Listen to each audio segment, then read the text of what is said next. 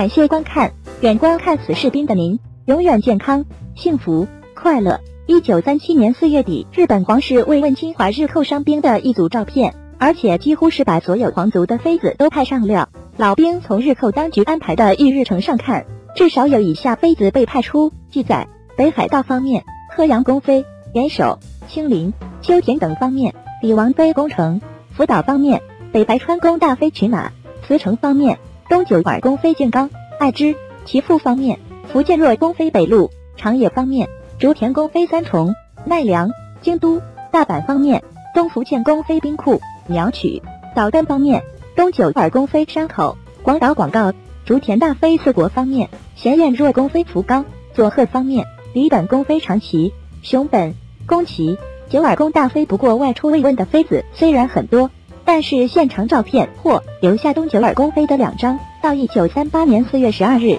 东福建公妃到大阪陆军医院慰问日寇伤员。一九三八年四月十二日，东福建公妃到大阪陆军医院慰问日寇伤员。朝香宫在名古屋陆军医院慰问伤员。皇室给部对送绷带。上海深谷部队野战医院伤员用上料。日寇皇室所赐的玉绷带。东福宫的山街宫九子被疯狂的日本人为料，鼓舞士气，竟然喊出十二名皇妃到部队去慰问。